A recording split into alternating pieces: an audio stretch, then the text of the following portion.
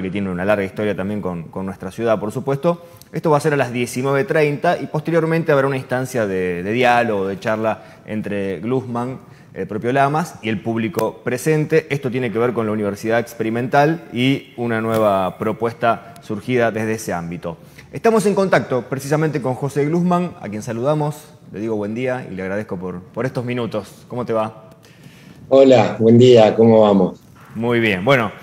Te tenemos mañana por acá en Venado Tuerto. Eh, contanos un poquito de 3DT, de esta película, cómo nació la idea y, en definitiva cuál es el, concepto que se quiere transmitir. Mira, bueno, perdón, un poco acatarrado. La, la idea nació después del subcampeonato mundial que obtuvo la selección en China con, eh, en Japón, perdón, con con Sergio Hernández a la cabeza, donde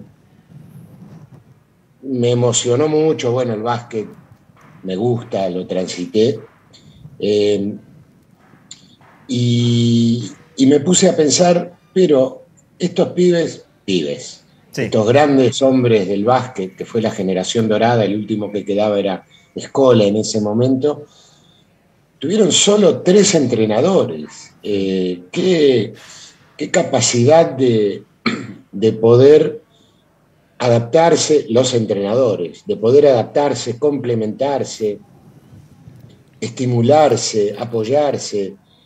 Qué diferente a tantos otros aspectos de nuestra vida social y deportiva, ¿no? Porque sin comparar, pero en ese mismo lapso de tiempo, la selección tuvo 13 entrenadores, la selección de fútbol. Claro, es cierto.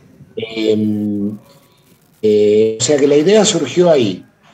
Y bueno, después empezó el camino del lector de cine independiente, empezar a llamar a un entrenador, al otro, transmitirles la idea.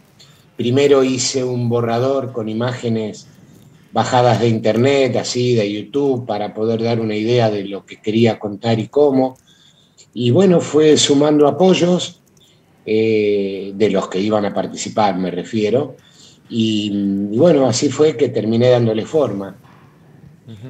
Yo creo que en última instancia este documental eh, tiene una gran cuota de generar eh, un mensaje inspirador, un mensaje de algo que ya nos tiene bastante saturados como sociedad, un mensaje antigrieta, donde eh, poniéndose algunos objetivos en común, prioritarios, los mejores para el equipo, en este caso es el básquet, ¿no? Ojalá fueran los mejores objetivos para nuestra sociedad, pero que fijándose algunos objetivos en común por sobre los egos, por sobre los intereses personales, por sobre el lucimiento y el beneficio personal, se pueden conseguir logros.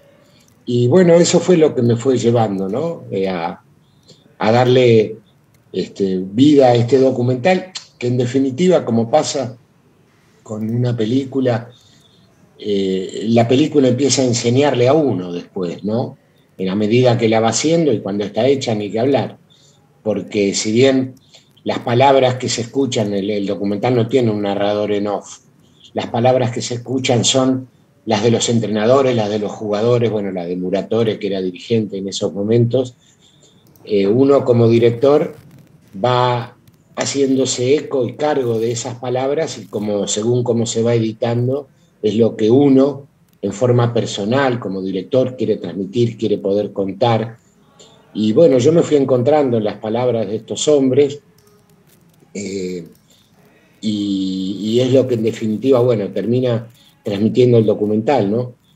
Porque por otro lado, si bien los jugadores hablan desde ellos, los exjugadores, eh, el punto de vista no cambia nunca, siempre refiere a, los que lideraban esos grupos, no los que lo lideraban en la cancha en forma natural, ¿no? las megaestrellas, los grandes jugadores, sino a los que tenían que liderar desde afuera, a los que tenían que contener, a los que tenían que, poner un stop, a los que tenían que poder darle una aceleración a un grupo que de por sí era talentoso, un grupo único en la historia. Claro. Pero bueno, hay que estar al frente de ese grupo, ¿no? Claro. Terminó siendo una especie de círculo virtuoso en este caso, digo, ¿no? Para aprovechar ese, capital deportivo que había en cuanto a los jugadores, ¿no? absolutamente, absolutamente. Quedó demostrado en el básquet también, quedó demostrado en el fútbol ni que hablar, que prácticamente el mismo grupo, eh, no solamente porque uno tire cinco estrellas a la cancha sale un equipo. Eh, hay valores, hay códigos, eh, que algunos los genera el mismo grupo, pero bueno, el entrenador tiene que tener la maleabilidad para poder adaptarse y para poder incluso hacer lo propio y poder retransmitirlo, porque cuando también tenés eh, tantas estrellas en la cancha, hay que poder manejar esos egos, hay que poder hacerlos convivir, hay que poder hacerlos ir en la misma dirección, ¿no? Bueno, entiendo que los protagonistas quedaron conformes con el, resultado de la película, ¿no? que, Julio te acompañe mañana en esta, en esta exhibición y demás es, una muestra de eso. Sí, sí, en ese sentido, ya cuando lo presentamos en el Bafisi y después en el estreno, fue muy eh, gratificante lo que pasó tanto con el público como con ellos, ¿no? Que ahí también se retroalimenta porque ellos estuvieron en, funciones en el contexto de un festival de cine donde los que van es gente de cine, eh, más que del deporte, pero eh, ahí se armaba el círculo virtuoso de la buena recepción de la gente, eh, con la buena recepción de ellos y la generosidad que tuvieron para, para, para entregarse ¿no? al documental, porque también es cierto que todos estos mega profesionales, todos, jugadores, dirigentes, entrenadores, eh, eh, tienen un cassette puesto de, lo que va, de lo que se dice. Entonces, poder movilizarlos, poder correrlos, poder ayudarlos a que saquen de ellos las reflexiones y las anécdotas más ricas en función de lo que queríamos contar, eh, bueno, fue muy generoso de su parte y fue muy gratificante, ¿no? Sin duda. ¿Descubriste algo diferente a lo que esperabas, digo, a partir de los testimonios, a partir de, ese recorrido, de estar en contacto con, los protagonistas? Digo, ¿Encontraste algún dato que, te haya asombrado, que te haya sorprendido? Mira, básicamente el mayor eh, creo que es el descubrir o el plasmar que la generación dorada no fue solo un grupo de extraordinarios jugadores y que todo ese grupo entrenadores y jugadores, eh, fue un grupo que no puso excusas. La vida es conflicto permanente, esto lo dice el documental, ¿no? La vida es conflicto en todos los ámbitos. Las relaciones humanas son conflictos. Y que la gran diferencia ha sido que este grupo siempre antepuso el equipo a los conflictos y siempre le encontraron la vuelta para solucionarlos porque hay conflictos de los que no se puede volver si no hay voluntad, ¿viste? Es como el tango, se baila de a dos. Hmm. Y, esta gente, eh, uno, bueno, lo intuía como hincha o como espectador, pero eh, plasmó en el documental eso, ¿no? Que eh, con la voluntad de resolver los conflictos se pueden poner grandes objetivos y se los puede pasar, se los puede atravesar. Eh, y esto que dije primero, que la generación dorada no fue solo un grupo de extraordinarios jugadores, sino que hubo de afuera un grupo técnico, porque también es cierto que el entrenador tiene un equipo técnico. Seguro. Eh, eh, que, han sabido, bueno, formar parte de esa generación, conformarla y llevarla adelante también. Eh, José, decías, la película se estrenó en el Bafisi y después tuvo su estreno oficial. Eh, ¿Cuál es el, recorrido que viene haciendo y el que tiene por delante, como, bueno, este, para poder obviamente el público encontrarla? Bueno, el recorrido por delante es eh, un poco la diatriba del cine nacional en estos momentos, es que ojalá llegue a una plataforma. Mm. Si no va a llegar a cinear, pero bueno, dentro de un tiempo largo. Eh, y mientras poder seguir haciendo este tipo de presentaciones eh, por el país, donde podamos acompañar la película y donde podamos eh, estar en relación con el público, que es lo más lindo que le puede pasar a un director, ¿no? Son los únicos momentos donde la devolución es directa. No es como en el teatro que en cada función, bueno, está el ida y vuelta. Eh, así que eh, la idea es seguir llevándola por el interior en este tipo de presentaciones y poder llegar a concretar que esté en una plataforma como para que el acceso ya sea directo ¿no? para la gente. Bueno, ¿y cómo va a ser esto de, sentarse después junto a Julio a, charlar? ¿Ya, tuvieron esta experiencia de, de, compartirte con Julio Lama ya de...? La, tuvimos en el Bafisi con todos. Bien. Eh, no la tuve solo con Julio, no creo que difiera mucho. Eh, y la idea es participar con la gente de esto, es decir, bueno, tal vez presentemos la película al inicio eh, pero bueno, después de la película, quedarnos con el público que tenga ganas de quedarse a hacer preguntas y respuestas acerca de esto, ¿no? Porque eh, se da la mirada del trabajo en equipo en lo deportivo desde el lugar de ellos, en este caso va a estar solo Julio, pero bueno, en el lugar de ellos, eh, y se da la experiencia del trabajo en equipo nuestro, es decir, en este caso estoy yo, pero la película es un hecho colectivo.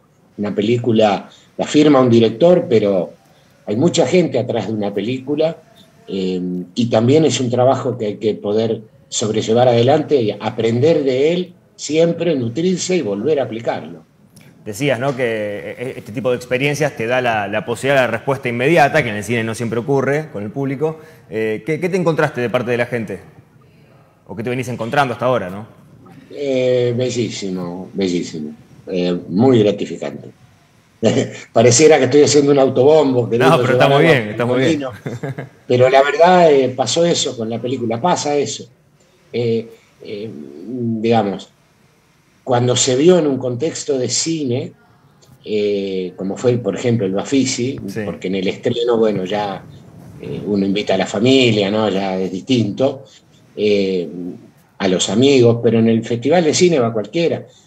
Y, si bien había gente que preguntaba, les preguntaba a ellos cosas y los admiraba, porque son admirables, y sus logros deportivos, también hubo gente que decía, yo, de cine, de, de, básquet no sé nada.